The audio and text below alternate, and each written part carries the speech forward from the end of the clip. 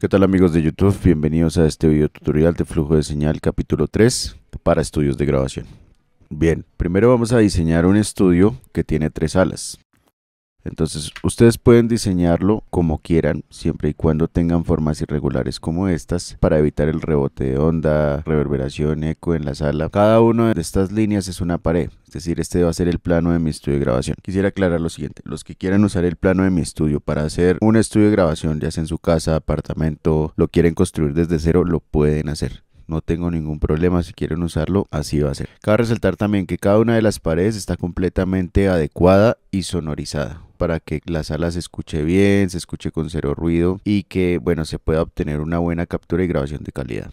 Habíamos dicho en la clase pasada que los mejores materiales para realizar estas grabaciones son materiales con textura porosa, esponjas, espumas acústicas, bueno, todo esto que absorba el sonido y lo dispersa en forma de calor. Así también como podemos agregar maderas, pino, cedro, maderas también que podemos conseguir en el mercado pueden ser muy útiles para el aislamiento sonoro y sobre todo, bueno, que cada una de las salas que están aquí pues se hagan a la medida, ¿vale? Esto tiene que ser muy exacto, esto no puede quedar ningún hueco por el cual se filtre aire porque ahí vamos a tener problemas, vamos a tener ruido de afuera de la calle y pues no queremos eso. En este caso las tres alas de la parte superior es donde vamos a realizar la captura y en la parte inferior va a estar el control room donde se van a ubicar todos los equipos con los cuales vamos a realizar la grabación. La sala de la izquierda le vamos a poner sala B. La sala central es el estudio J. El Live D, ese es un poquito más grande que la sala B, también aísla. Bueno, vamos a suponer que hay un grupo musical y nos pidieron el favor de que grabemos los temas pertinentes, dado que se quieren dar a conocer. Tenemos un chelista, una cantante, un bajista, bajo eléctrico, un guitarrista que toca la guitarra eléctrica, un percusionista y un ukelele. Bueno, lo primero que debemos hacer es una organización de los músicos en cada una de las salas. Pero entonces debemos pensar en lo siguiente, como queremos aislar a cada uno de los instrumentos, ¿cómo lo haríamos? Yo pensaría primero en los instrumentos eléctricos. ¿Por qué los instrumentos eléctricos? En, en el caso del bajo y la guitarra, porque estos se pueden grabar por línea. Por ejemplo, voy a ubicar el bajo en la sala B.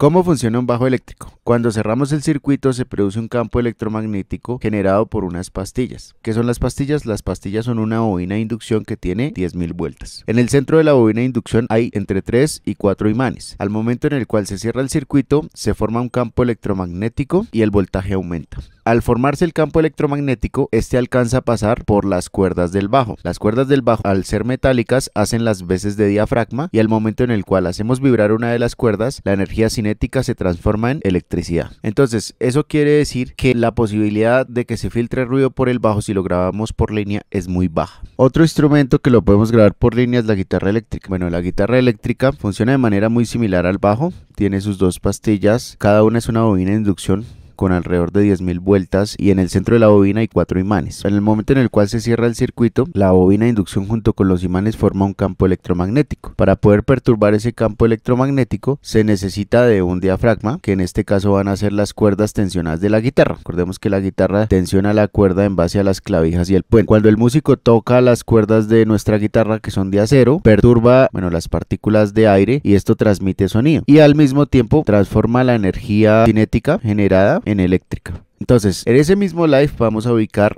nuestro ukelele. El ukelele que tenemos acá es un instrumento acústico. Funciona en base a la caja de resonancia tensionando sus cuerdas y ya. Entonces ese lo vamos a grabar con micrófonos. Luego tenemos las percusiones en la sala B. El cajón tiene una base de madera que sirve para golpear y recoger el ataque del instrumento. En su parte de atrás hay un, bueno, hay una caja de resonancia como en todos los instrumentos y es un instrumento para llevar la base de las canciones del grupo musical. Entonces vamos a tener señal limpia de bajo, señal limpia de la guitarra, señal limpia de ukelele y señal limpia las percusiones. Pero ustedes me dirán, de todas maneras, la guitarra eléctrica va a generar uno que otro sonido y eso se va a filtrar por el micrófono del ukelele. Sí, pero primero que todo la guitarra está lejos del ukelele, por lo menos más de un metro si está. Segundo, el ruido que se va a filtrar en los micrófonos del ukelele también es demasiado bajito. ¿Por qué? Porque la guitarra eléctrica no cuenta con la caja de resonancia. Entonces les aseguro que ni siquiera va a llegar a los 5 o 10 decibeles. O sea, eso no va a pasar de ahí. Lo mismo pasa con la percusión. Y ahora vamos a irnos al estudio J. En el estudio J nos queda el cello y la cantante. Aquí sí vamos a tener un problema grave y es que cuando empiece a tocar el chelista sí se nos va a filtrar por el micrófono de la voz y viceversa. Entonces, ¿qué deberíamos hacer? Bueno, pues yo trataría de, aislar el chelo a través de un panel acústico. Lo colocamos vertical que prácticamente nos genera un aislamiento parcial del sonido para que no se nos vaya a filtrar o bueno para que se nos filtre muy poco sonido de la cantante y para reforzar también el sonido de la cantante vamos a colocar otro panel detrás de esta manera. Bien, hasta aquí todo lo que hicimos, esta organización, cómo la pensamos, de qué forma lo vamos a grabar, eh, cómo van a estar ubicados espacialmente los instrumentos, esto lo llamamos un stage plot. Listo, no se nos olvide, una organización de cada uno de los instrumentos en estudio. Ahora vamos a proceder a, realizar la grabación de nuestros instrumentos. Entonces aquí lo recomendable es tener micrófonos que tengan un patrón polar cardioide porque el cardioide es unidireccional, captura de frente, es decir, no nos va a captar nada ni a los lados ni atrás. Y eso es útil en el caso del estudio J en donde tenemos dos instrumentos. Bueno, el escogido para esta vez va a ser el micrófono C414. Bien, es un micrófono multipatrón. Eh, bueno, con estos interruptores podemos modificar el patrón y la manera como va a captar ese micrófono. ¿Listo? Esto también tiene un embobinado y una membrana. Aquí la podemos ver. Y es un micrófono de condensador. Como les dije anteriormente, como queremos capturar solamente la voz, lo que nos conviene es tener un micrófono cardioide. Entonces aquí lo podemos dejar, de hecho aquí está en la opción cardioide. Pero si quisiéramos usarlo para otro propósito, tenemos el patrón polar omnidireccional, supercardioide, cardioide, hipercardioide y figura de 8. Bueno, otra cosa a tener en cuenta es la curva de ecualización de este micrófono. Tiene una respuesta plana entre los 40, 80 y 60 Hz, incluso tirando hacia los 1000 Hz. Y bueno, tiene una acentuación hacia los 2000 y 15000 Hz. Entonces la respuesta para lo que queremos buscar de la cantante es muy buena. ¿A qué distancia vamos a ubicar eh, la cantante? Bueno, recordemos que los cantantes eh, y las cantantes, obviamente, bueno, tienen un problema al acercarse mucho al micrófono. La acentuación de las P's, las T's. Para evitar eso, podemos utilizar un pop filter o podemos agregarle al micrófono un pop que viene con el micro. Es una funda de textura espumosa, la cual ponemos encima del micrófono y eso nos va a ayudar a filtrar ese tipo de ruidos en el micrófono. Ya elegimos la voz. Bueno, vamos a dejarlo a una distancia de 3 centímetros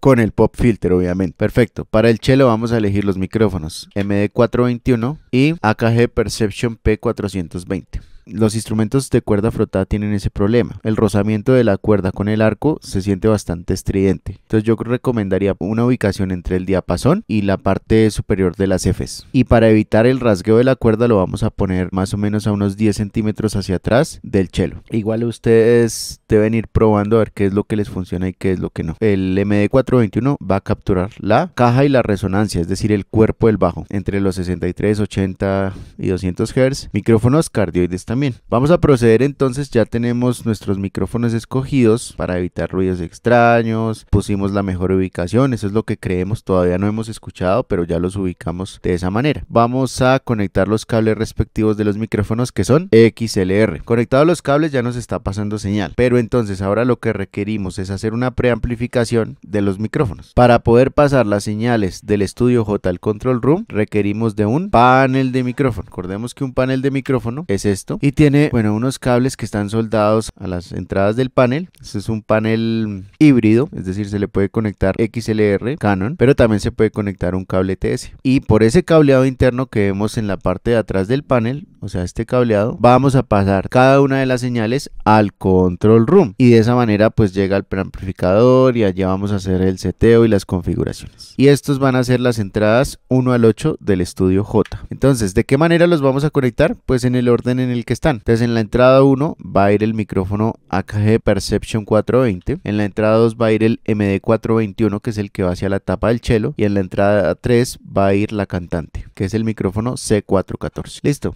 ya tienen escogidas las entradas, entonces ahora vamos a ir hacia la sala B. Entonces necesitamos cerrar el circuito del bajo para que las pastillas funcionen y estas lleguen también a la, a la preamplificación. ¿Cómo pasaríamos las entradas de la sala B al control room? Pues lo mismo, primero debemos escoger los micrófonos. Entonces el bajo lo vamos a grabar por línea y para esta clase vamos a hacer un ejercicio y es conectarlo a una caja directa. Existen cajas directas pasivas y existen cajas directas activas. Las cajas directas activas son las que tienen amplificación adentro, es decir, cuentan con un transformador, un filtro que limpia la señal y a través de un acoplamiento de impedancias transforman la señal mono no balanceada en una señal balanceada. Una señal balanceada es por decir un cable XLR que tiene tierra positivo negativo. La señal no balanceada solamente cuenta con dos conexiones, ¿vale? Positivo y negativo y ya. Para este caso utilizaríamos la caja directa RJ48.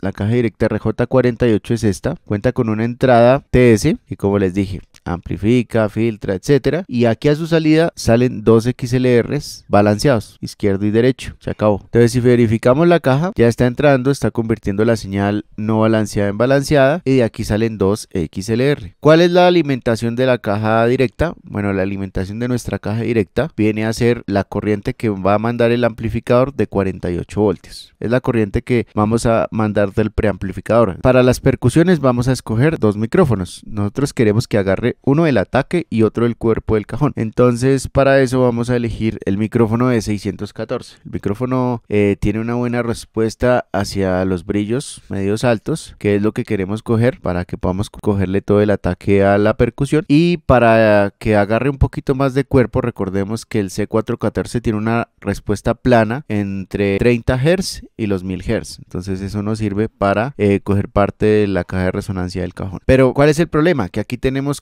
y al mismo tiempo el que toca la percusión también toca unos huevos. Entonces vamos a necesitar de un micrófono Neumann KM183. ¿Por qué ese micrófono? Este micrófono es distinto a los que hemos escogido. Casi todos los que hemos escogido son cardioides. Y este también tiene cápsula pequeña pero con la diferencia que tiene patrón polar omnidireccional. Es decir, capta en los 360 grados del espacio tridimensional. Entonces esa va a ser la organización de nuestros micrófonos. El KM183, bueno, tiene la siguiente curva de ecualización. Es un micrófono que también requiere los 48 voltios para su funcionamiento, es un micrófono sensible de condensador y el patrón polar es omnidireccional. Para los micrófonos conectamos cable XLR de la misma forma como lo hicimos en el estudio J y para pasar las señales entre la sala B y el control room requerimos de un panel de micrófono. En el, en el IO panel de la sala B vamos a tener las entradas 9 a 16 para continuar con el orden que íbamos. Entrada 9 y 10 va a ir el bajo, entrada 11, 12 y 13 va a ir la percusión en el 11 tenemos el 614, que es el ataque del cajón. En el 12 tenemos el cuerpo del cajón. Y en el 13 tenemos el micrófono KM183, que es el room que va a capturar tanto los huevos como el cajón. Perfecto. ¿A qué distancia lo podemos poner? A 50 centímetros, yo diría que medio metro de distancia. Pero voy probando. Yo voy probando ahí, ¿listo? Y los otros dos micrófonos, el AKG 414 5 centímetros de distancia para que me coge el cuerpo. Y el E614 es bueno para aguantar presiones sonoras muy altas, así que lo pondría a 5 centímetros de la caja. Cuando ya estemos en estudio haciendo las configuraciones, vamos escuchando y le bajamos, le subimos, corremos el micrófono, eso lo vamos viendo sobre la marcha. Eso lo hago así porque, digamos, en mi estudio las cosas funcionan así. Digamos, todos los estudios no tienen la misma configuración y funcionan de la misma manera. Entonces, ustedes verifiquen en su estudio cómo suena su sala. Vamos a irnos al Live Dev. Ya tenemos las señales en el control room listas. El ukelele es un instrumento acústico. Listo, no tiene salida TRS jack, entonces vamos a requerir de unos micrófonos para poderlo grabar. Entonces para esto vamos a elegir el E609 de Sennheiser. Esto nos va a ayudar a coger un poco más de cuerpo entre los 100 y 500 Hz. Y este micrófono que es el KM183 nos va a ayudar a coger brillos. Es un micrófono de condensador, cardioide, vamos a apuntarlo entre el mástil y la caja de resonancia del ukelele. Pues ambos micrófonos son de patrón polar cardioide, requieren de, de la fuente de alimentación de 48 voltios. Procedemos a conectar los cables, tiene salida XLR como cualquier micrófono, perfecto. Y estos van a ir al IO panel y entradas 17 a 20 del estudio D. Entonces entrada 17, KM184, entrada 18, Sennheiser E609. Ahora vamos a la guitarra eléctrica, mismo principio del bajo, cable de línea, producirse el campo electromagnético y el guitarrista empiece a rasgar su guitarra, se produce una diferencia de potencial, producido por las pastillas que recordemos que son una bobina de inducción de 10.000 vueltas. El cable va a ir a una caja directa, que es la RJ48, es una caja activa que cuenta con un transformador interno que agranda la señal de entrada, un filtro que ayuda a limpiar un poco la señal proveniente de las cuerdas de la guitarra, van dos cables XLR balanceados. ¿Listo? Izquierdo y derecho y estos van al panel. Este IO panel tiene entradas 21-24 y las vamos a conectar en orden. Balanceada izquierda XLR va al 21, balanceada derecha XLR va al 22. Ya nos estaría llegando nuestra guitarra al panel y estarían pasando todas las señales que tenemos en el estudio al control room. Bien, ahora para que nos lleguen todas las señales y podamos editarlas, hacer la postproducción después, podamos grabarlas, etcétera, tienen que llegar a un preamplificador. Recordemos que todas las señales que ya están llegando a nuestros paneles, los pulsos eléctricos son muy pequeños, entonces debemos agrandar esas señales de entrada. Bien, antes de ir al preamplificador quisiera explicar lo siguiente. Todos los estudios de grabación en el mundo tienen algo que se llama un patch bay. ¿Y qué vamos a tener en un patch bay? Bueno, vamos a tener nuestras entradas y salidas del estudio, pero a la mano. Entonces, esto es un patch bay. Tenemos, bueno, por ejemplo, aquí dice entradas rack micrófono 1, todas las entradas y salidas del estudio disponibles. Aquí tenemos un compresor que está conectado al patch bay y tenemos otro ecualizador. ¿Cuál es la ventaja de tener todas las entradas disponibles? Que podemos conectar los dispositivos más fácilmente. Es decir, si no tuviéramos el patch bay, si quisiéramos ir a un compresor o a un ecualizador o quisiéramos ir a un procesador de efectos, tenemos que hacerlo manualmente. Conecte el cable XLR o el cable de línea dependiendo de la entrada, luego vaya hasta el compresor y luego devuelva la señal otra vez con el mismo cable. Digamos que es algo muy tortuoso de hacer, ¿sí? es algo difícil. Para facilitar, digamos, los procesos de grabación, edición, etcétera, para eso tenemos este patch pay. Si verificamos el patch pay, tenemos fila 1, fila 2, fila 3, fila 4, fila 5, fila 6, fila 7, fila 8, fila 9. Cada fila tiene 24 posibilidades, es decir, en este caso 24 entradas. En la segunda fila otras 24 entradas, en la tercera fila 24 entradas. Entonces, fíjense en un panel en, la, en su parte de atrás. Cada una de las entradas de nuestro patch bay tiene tres posibilidades. Estas dos ranuras son un switch. Entonces, cada uno de estos switch viene a representar un canal. Entonces, tienen que haber 24 switch. ¿Listo? Y el de abajo va a representar una fila. Esta es una fila, esta es otra fila, esta es otra fila. Total, como teníamos acá nueve filas, debe haber nueve switch hacia abajo para la configuración. Bueno, cabe resaltar también que en la parte posterior de nuestro patch bay tenemos conexiones de 25 que van en orden. El primer lote 1 al 8 de 25 que sería el proveniente de nuestro estudio B. Eh, vendrían XLR convertidas en DB25 y conectadas aquí al primero. Luego en el segundo vendrían XLR DB25 también del estudio J. Y en el tercero vendrían XLR DB25 conectados aquí al Patch Bay 17 a 24 el cable que transforma las señales es esta manguera que van los 8 XLR transforman en DB25 y este es el conector DB25 de 25 pines. Por un cable DB25 se pueden transportar 8 señales XLR. Por los demás DB25 se van a venir a conectar los dispositivos faltantes como lo son las entradas del preamplificador que irían aquí abajo pero como tenemos más filas entonces bueno irían en serie tal como están aquí los demás de 25 faltantes que no vemos acá Entonces el primero va a ser normalizado. Cuando encontramos el switch normalizado, todas las entradas 1 están conectadas entre sí. ¿Listo? No necesito utilizar ningún cable. Esto es normalizado. Todos los 5 están conectados entre sí hasta el final. Todos los 6 están conectados entre sí hasta el final. Todos los 7 están conectados entre sí hasta el final. Y sucede lo mismo en todas las entradas. ¿Vale? Bien, pero acá hay un problema. Entonces, si yo cogiera, por ejemplo, la entrada 8 y yo conectara algo en la entrada 8. Listo, yo conecté, por ejemplo, aquí tenemos mi preamplificador y yo quise ir a un efecto. Digamos que aquí yo tengo una reverberación. Esto es lo que pasa cuando está normalizado. Se corta la corriente eléctrica, miren, se cortó. Aquí se corta el flujo de, de, corriente, el flujo de electrones y se van por este cable. Para volver a retomar la normalización tendría que digamos yo lo conecté a la reverberación, entonces llegué aquí a la reverberación, salgo del proceso dinámico y vuelvo aquí a la interfaz. Digamos, aquí no está marcado como interfaz, pero vamos a suponer que en el caso en un caso hipotético es así, ¿listo? Y aquí se vuelve y se retoma la normalización desde aquí. Pero como interrumpimos, pues vamos a tener la señal ya mojada con la reverberación aquí. ¿Qué pasa cuando está en la opción normalización media? A pesar de que yo corte aquí la normalización, los electrones van a seguir fluyendo de la misma manera y no se va a cortar ningún canal. Todo va a seguir conectando a todo. Entonces aquí yo no volvería al panel, sino yo quisiera volver a, digamos, otra entrada de la interfaz, por ejemplo en la entrada 18 para tener allí lo que ya mojé con la reverberación y tener la señal limpia por la, por la entrada 8. Y no normalizado quiere decir que nada está conectado a nada. Es decir, la entrada 8 y la entrada 8 de la siguiente fila son independientes. no tiene que ver ninguna con la otra. Es decir, que para que podamos comunicarnos entre entradas tendría que conectar un cable de la entrada 8 del, del dispositivo de arriba o del panel hacia el amplificador porque no está conectado directo. Eso es. Entonces acuérdense, tres modos, normalizado, normalización media y no normalizado. Tiene los tres switches, entonces los corremos acá. Si tenemos todo el switch a la izquierda está normalizado. Si tenemos aquí el switch en la mitad es normalización media. Y si tenemos el switch no normalizado es que no está normalizado, que no está conectado.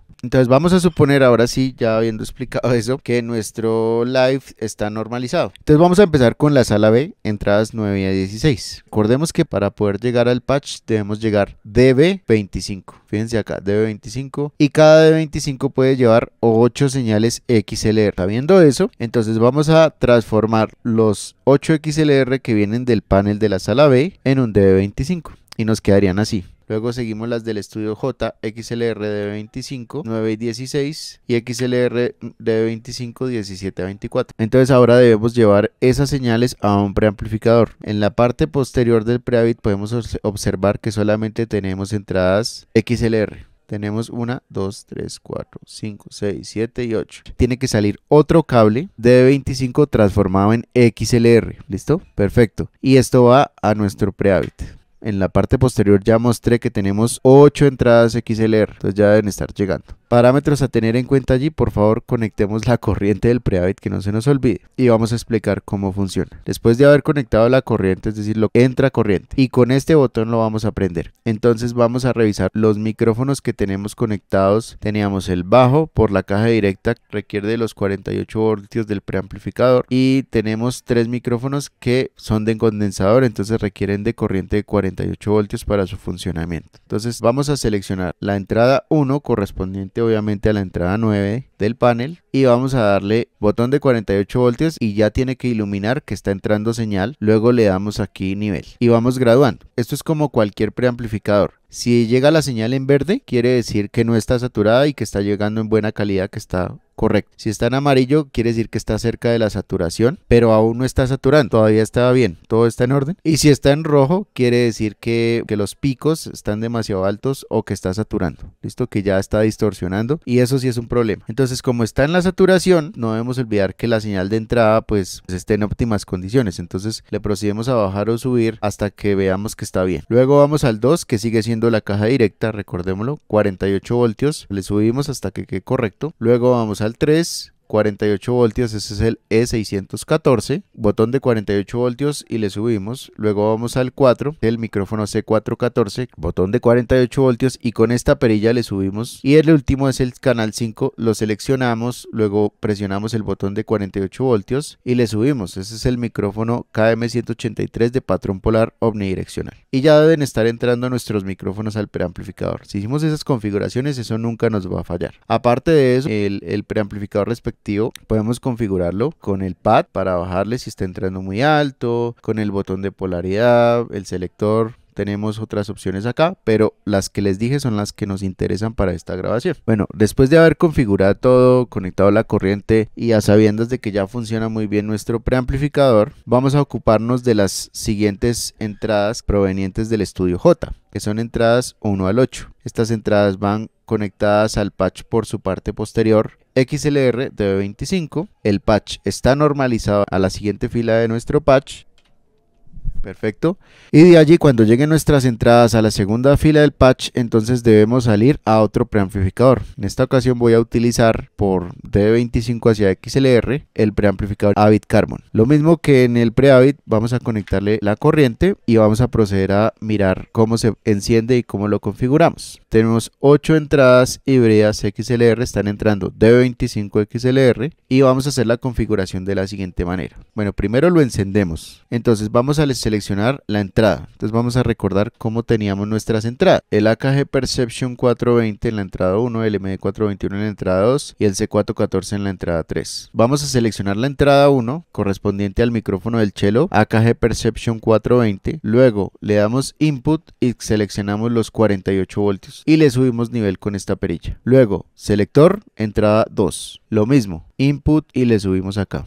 Luego seleccionamos entrada 3, input, botón de 48 voltios y le subimos nivel. Si hacemos eso, como les dije, ya debe estar entrando y no les debe estar poniendo ningún problema. Adicional a lo dicho anteriormente, esta interfaz de audio tiene botón de polaridad, botón de alta impedancia y botón de link por si queríamos linkear un canal con otro. Si tenemos una señal estéreo, una técnica de microfonía en donde van dos micrófonos, tenemos cuatro salidas de audífonos y otras dos salidas de instrumento por si queremos conectar desde el control room alguna guitarra o algo. Bien, en resumidas cuentas, el patch de nuestro estudio, como lo veníamos explicando, nos quedaría de cuatro filas. Muy bien, en la primera fila, en el primer lote de 24, tendríamos en el primer grupo de 8 que están conectados por DB25 en la parte posterior, las salidas 9 a 16 del IO panel de la sala B. Luego tenemos las salidas 1 al 8 del estudio J y por último tenemos las salidas 17 a 24 de la sala D conectados a la parte posterior de la primera fila del patch bay. Estos vendrían normalizados a nuestros preamplificadores de la siguiente manera. Pasarían las salidas automáticamente hasta nuestra segunda fila del patch in 1 al 8